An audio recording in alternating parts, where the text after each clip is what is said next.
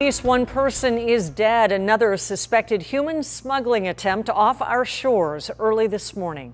Good afternoon. I'm Kimberly Hunt. And ABC 10 News anchor Lindsey Pena is live where the boat came ashore in La Jolla with the latest details. Lindsey?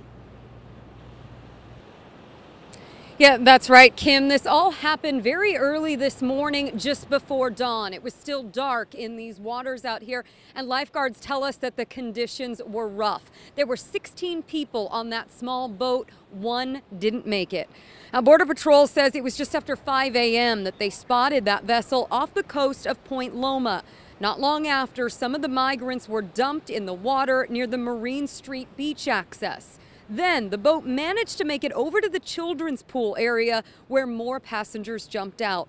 Lifeguards did get everyone out of the water, but as I said, one of those rescued died.